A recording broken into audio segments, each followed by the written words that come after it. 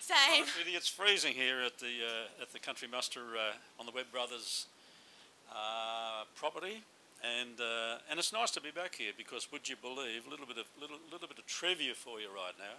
I was here for the first one in 1982. I heard. So there was the two boys, the two brothers, the, the Webb brothers, and myself. I think the rest of them are all dead. I don't know where they are, but anyway, it's great to be back here again. Yeah, definitely. And it must be so much different compared to the first one. Well, in, see, in those days, uh, and we're talking long before everybody knows what the Gympie Muster is all about now, Yeah. right? And which is now changed when it's, it's done a 360 and changed into the Gympie Music Festival or some silly thing like that, whatever. Yeah, very big. And um, and but when this when this started, this was, God, what's going to happen? Will people turn up? We're way out in the middle of nowhere and uh, at the end of a dirt road and all of this sort of thing, and people turned up. And that was the start of the Gympie Muster as as we know it today. And uh, and sometimes you, you performed at the Gympie Muster, you know, in front of thirty thousand people now. Sometimes that's that's extraordinary. And to resurrect this here once again on the original site all these years all these years later, and I think to myself, God, I'm still alive and rocking all over the world and great balls of fire, and it's a it's a lot of fun. Yeah, it would be. Yeah, because oh, just the amount of people that have attended here over a few years and had just changed to a different site and stuff. It's just incredible how much difference it's made. Yeah, and times to move on to to Yasmin because the country music uh, going back then was entirely different to the country music. I mean, right now it's it's almost oh, rockabilly pop. I suppose is that a nice way to describe it? Yeah.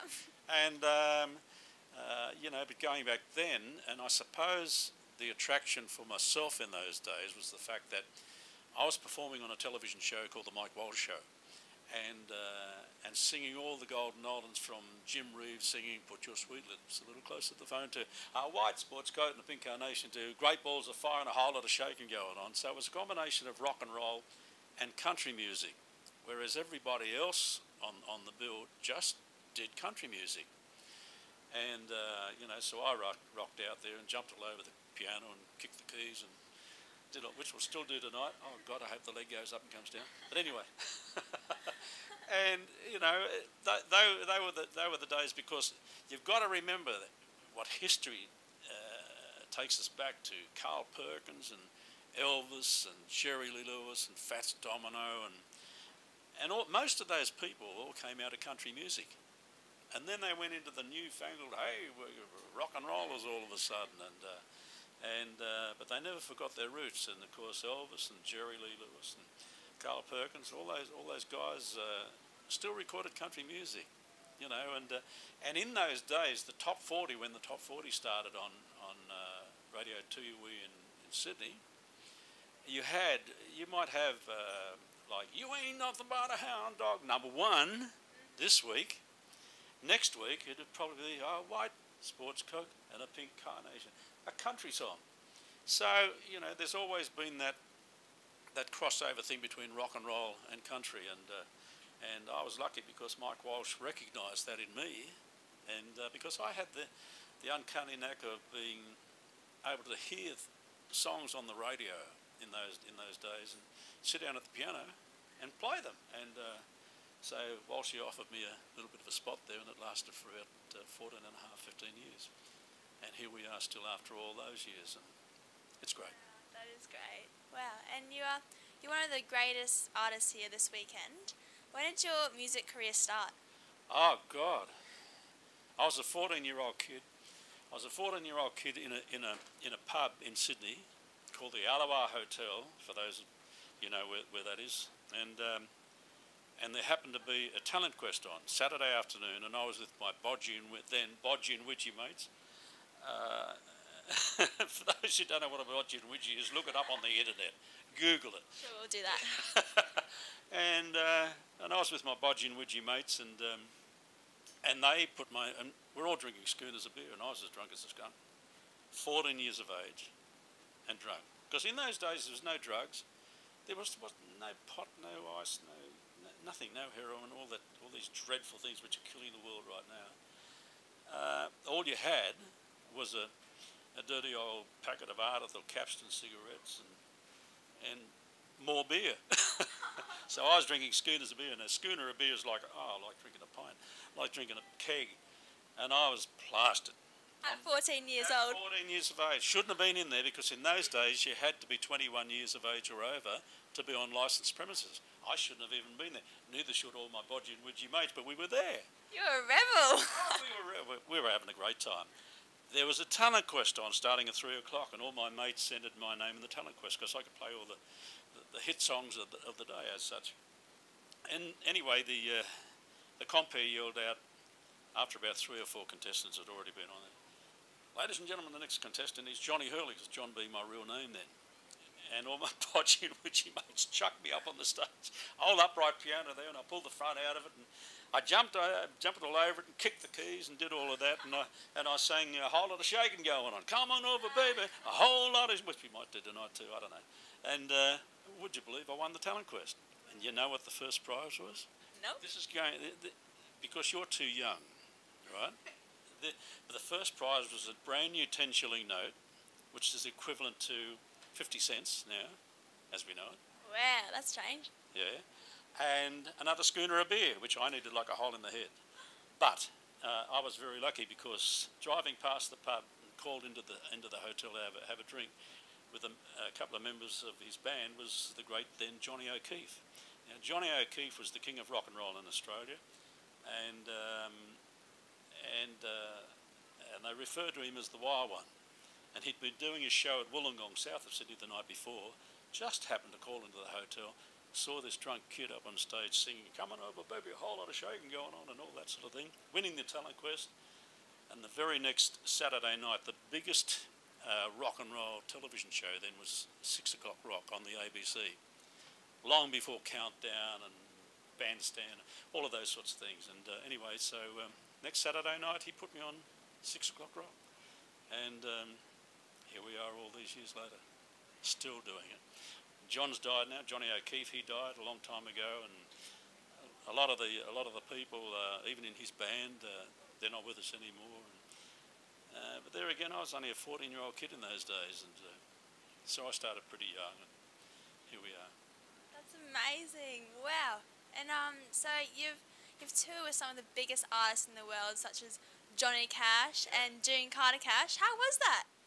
You know, it's it's amazing to uh, to be uh, to be able to work, travel the, the world and work with some of the greats. I, I toured with uh, Don Williams in, in America and uh, Johnny Cash and June Carter Cash in Ireland and Europe and London. And um, my manager rang me up and said, I got you a couple of new gigs in, in Ireland. And I thought he's talking about an island off the Whitsundays. He said, no, over there near England.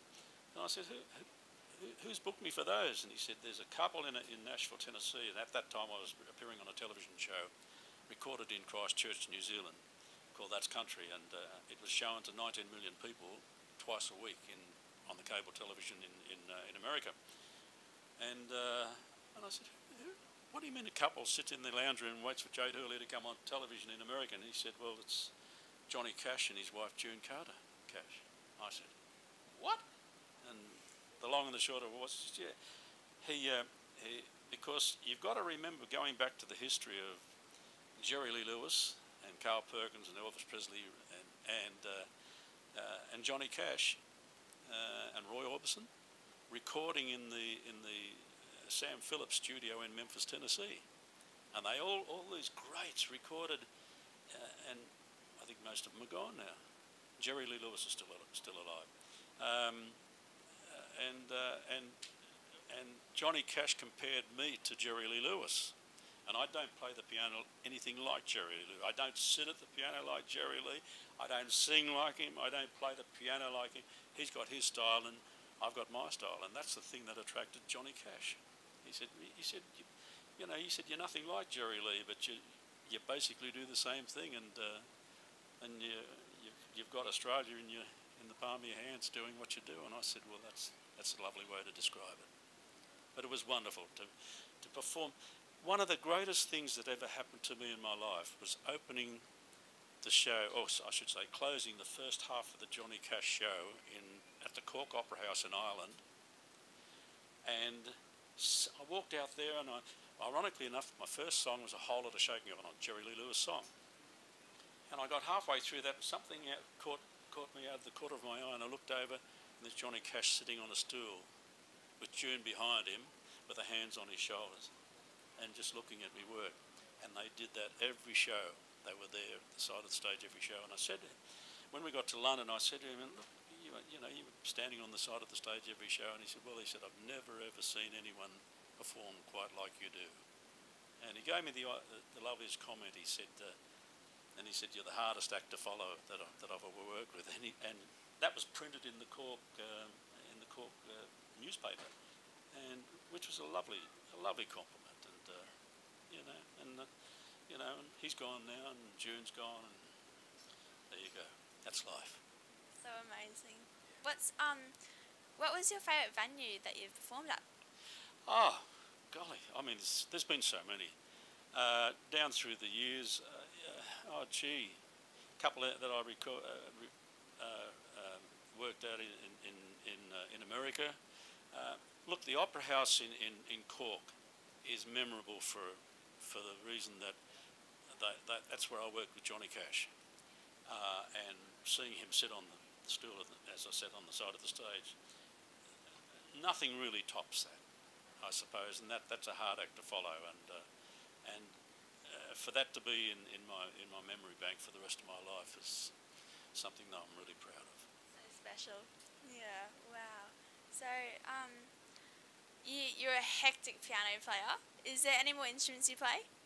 I play pretty well anything. I play guitar and bass and drums and, and then a few other things. I've got my own recording studio and a new album ready to go, but I suppose that's for another time, isn't it? I guess so. And um, have you got any advice for aspiring artists? Oh, look, it's hard. It's it's tough now. The internet age. Uh, while the while the internet age makes it tougher because uh, people can download load your songs, download them, uh, you know, through iTunes and pay to download them. But they can also, if they're smart enough, go to somewhere on the web and download them for nothing. And but that comes with a few benefits as well, because down through the years, there's been nothing worse, to my way of thinking, uh, going and paying, say, 25 or 20 or 30 or uh, 30 30 dollars for a CD, and there's only two good songs on it. The rest of them are junk. And man, I've always been a critic of that. So every every product, every CD or album down through the years that I have I have recorded, every track has got to be a great track. Otherwise, forget the whole thing. Um, you know, so if, but if you want to go to iTunes now, you just download the song that you want off that album, and that's it. Couple of bo- couple of dollars or whatever. Wow. Yeah, that's so true. And have you had any crazy fans? Like an, any incident that has that has happened with a crazy fan? Oh, you get the odd pair of knickers thrown at you. Still to this day, I shouldn't say that in front of you, but anyway, but. Uh, okay. No, in these days they throw gorgeous gussies. But anyway, no. and you've got to be over 40 or 50 to know what gorgeous gussies are. But anyway, no, it's, it's look, the fans are terrific. For, for me to still be here at, at this stage of my life and, you know, the fans are out there and, man, you know, I'll sing Running Bear and Great Balls of Fire and all those great old songs and everything like that. And, and they, they ask for more. Who can ask for any more, anything more than that? Yeah. They just adore you. So good. I can't wait to see you too when you perform. And um, have you got any albums coming out at all? Yeah, Recently? Got a brand new, got a brand new album ready to go uh, at this stage with 18 songs on it, 18 tracks on it, which is a lot. Because the average uh, average CD is really only probably 12 or 13.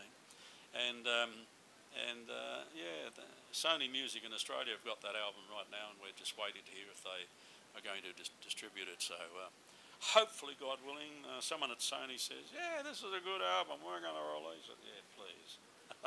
Well, congratulations on that. And thank you so much for your time. It's been a privilege. Nice to talk to you always, Jasmine. Oh, no worries. You're watching AICM TV.